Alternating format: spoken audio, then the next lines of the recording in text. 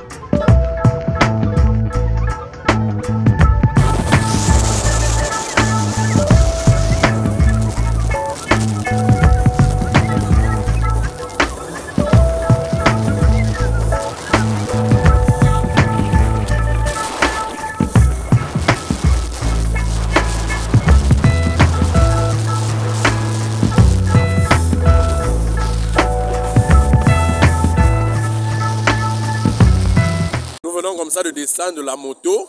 On va entrer en brousse. hein. C'est en brousse là. Comme vous voyez la direction, hein, mon frère là. On va prendre la brousse là. Pour voir le mari- de la mariée justement. Qui est au champ en train de faire ses travaux. Donc on va, on va seulement le surprendre là-bas.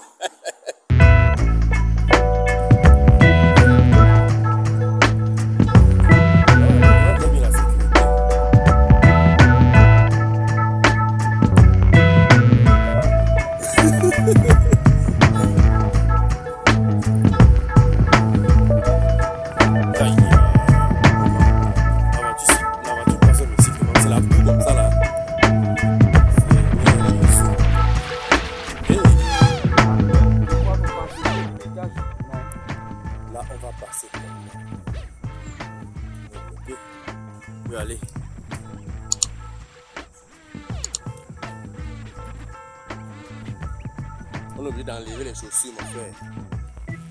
Bundangwa, dans l'eau.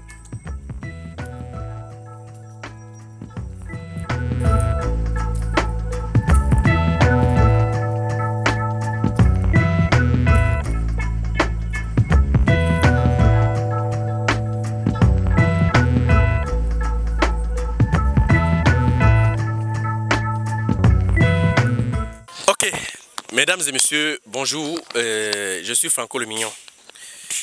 Je suis au village. C'est où? Colmetet. C'est quoi, papa? C'est même miam, c'est pas un colme tête. Memiam.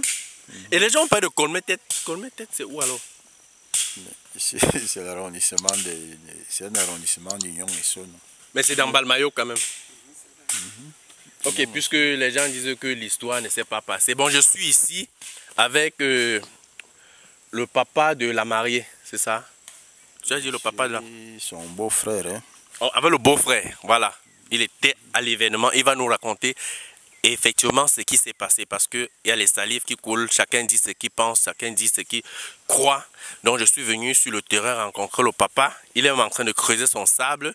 J'ai dit pardon, accorde-moi juste quelques minutes pour dire la vérité au public, au peuple camerounais qui, qui sont choqués. Qui sont choqués. Excusez-nous, hein, parce que quand on parle, on rit, on va dire que bon, une histoire comme ça, vous riez, mais bon, même à la morgue, pendant la levée, Henri, désolé. Bon, papa, bonjour encore. Oui, bonjour. S'il vous plaît, vous allez un peu parler un peu fort. Hein. Bonjour. Voilà, je suis venu là pour que vous nous expliquiez vraiment, puisqu'on nous dit, il y a une histoire où on dit qu'on a empoisonné la nourriture lors des mariages et tout. Et je suis venu comme ça pour que vous nous expliquiez vraiment qu'est-ce qui s'est réellement passé. Si la nourriture était empoisonnée, je serais aussi mort, puisque après le passage des, des mariés, la table des mariés, c'était notre table qui suivait. Donc je serais aussi mort. Mais je suis vivant.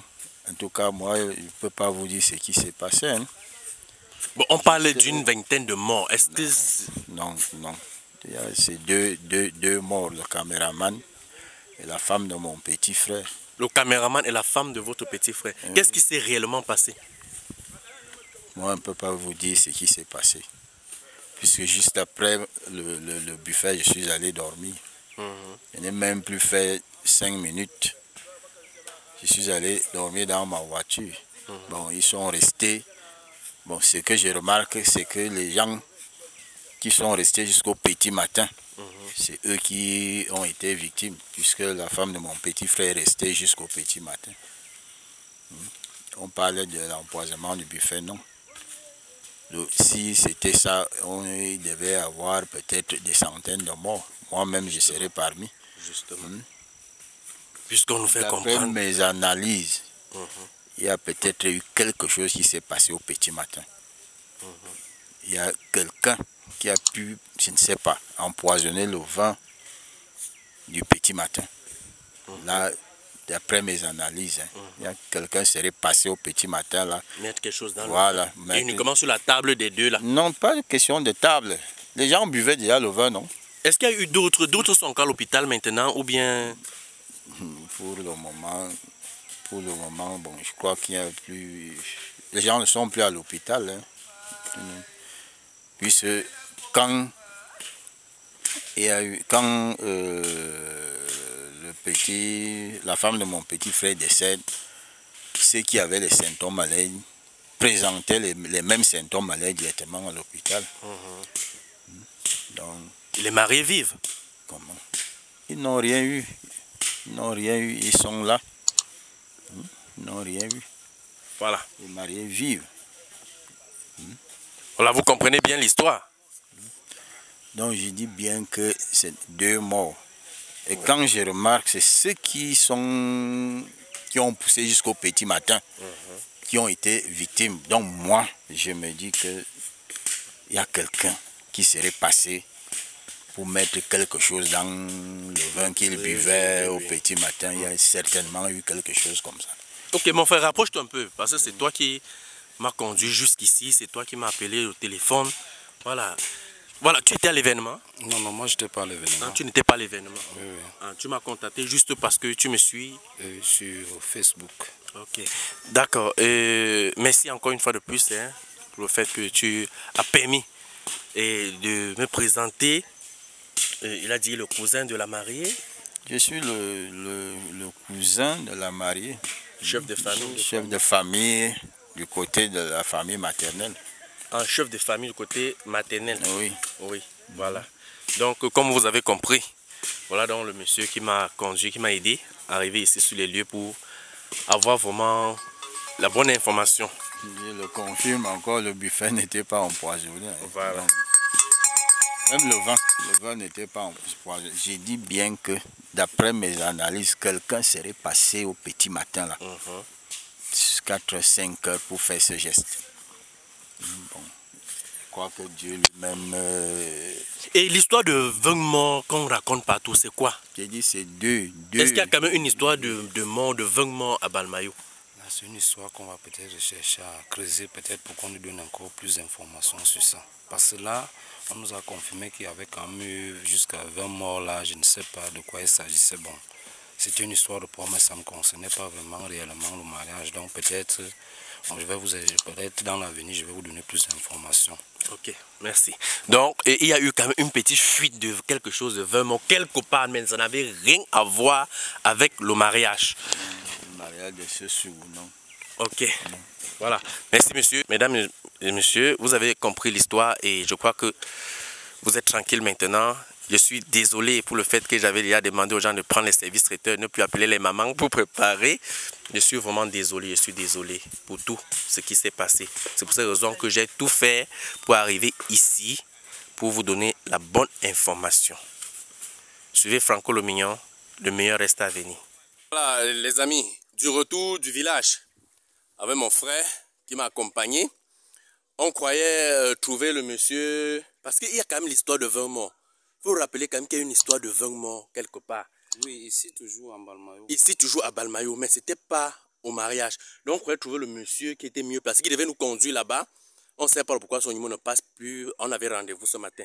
Hier, qu'est-ce qu'il t'a dit concrètement pour cette histoire de 20 morts, mon Oui, pour hier, il m'a fait comprendre que effectivement, dans son village, là, en Colmetet, effectivement, il y a quelqu'un qui aurait dû amener, apporter un poison là-bas dans leur village pour essayer de tester ça sur les gens. Attends, pour, pour tester ça sur les gens Oui, c'est ce qu'il a fait comprendre qu'il a, il a, il est parti prendre. Donc, payer même, c'est un sorcier. Donc, il est parti prendre un poison pour venir tester ça sur les gens de son village. Et c'est chez eux là-bas qu'ils ont donné, eu le cas de 20 morts là. Et là, maintenant, il nous a donné rendez-vous ici en Brousse, mais il n'est pas venu ce matin parce qu'il a demandé à ce qu'on se rencontre. Si on pouvait aller là-bas au village pour trouver les familles des victimes en question.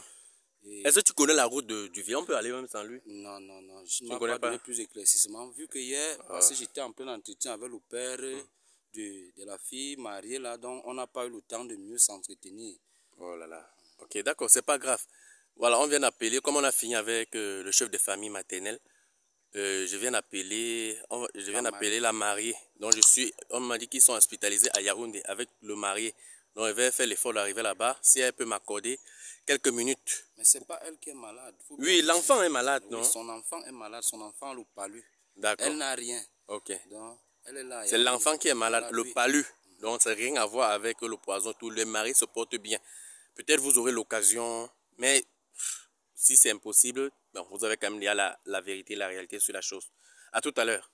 Voilà, voilà, euh, du retour à Yaoundé, nous rendons grâce à Dieu parce que tout s'est passé à merveille malgré les difficultés et l'état des routes comme vous avez constaté. Voilà, euh, je suis arrivé à Yaoundé, comme il était question que je devais arriver à Yaoundé, appeler les mariés pour essayer de voir comment euh, discuter avec eux. Quand je suis arrivé, j'ai appelé la mariée. Dès que j'ai expliqué que c'est Franco le mignon, comme ça, je suis... Hmm, elle m'a raccroché au nez. Mais bon, c'est pas grave. C'est déjà bien. La bonne nouvelle, c'est que les mariés sont vivants. Et c'est ça qui est intéressant. Donc, euh, ça n'a pas du tout été facile. Vous savez, quand je suis arrivé au village, euh, les gars ont commencé à compliquer. Quand ils ont conseillé, ils ont découvert. Je suis même surpris que j'arrive en brousse. Tous les gars qui étaient en train de creuser le sable. Franco Lomignon, tu viens faire quoi Tu fais comment pour arriver ici? Dès que le papa là, puisque quand on l'annonce, on dit que c'est une chaîne de télé qui va venir filmer et tout. Le papa était d'accord. Dès qu'il entend mot Franco Lomignon, Franco c'est qui? On dit influence, influence. Il fait les vidéos sur Facebook. Le papa a changé. le une fois changé de casquette, mon frère on fait au pâté comme ça. Non, il y avait déjà euh, euh, euh, le poste national qui était là. Curieusement, tout le monde fuit la caméra. Il fallait faire comme un bon Camerounais pour que le pâté accepte de poser la voix, comme vous avez vu là. Mais ce qui est bien, c'est que il a accepté et c'est un papa quand même gentil. C'est juste que quand il a entendu les cris de ses enfants, Franco et tout, il a cru que oh, peut-être j'ai reçu que des millions pour venir faire ça et tout. On va. Bon, ce qui est bien, c'est que l'histoire, tout le monde connaît l'histoire réelle actuellement. Merci pour ceux qui ont regardé cette vidéo. Merci pour vos encouragements. Partagez au maximum la vidéo. Et c'est de ça qu'il s'agit. Je serai toujours là quand il va falloir mener les enquêtes pour des choses pareilles. On est ensemble. S'abonnez-vous. S'abonnez-vous. Quand vous êtes abonné bien, hein. très bien. Quand tu regardes une vidéo, il faut partager et mettre les likes. Paye ou non Ok. N'oubliez pas de vous abonner et d'activer la notification pour ne rater aucune de nos prochaines vidéos.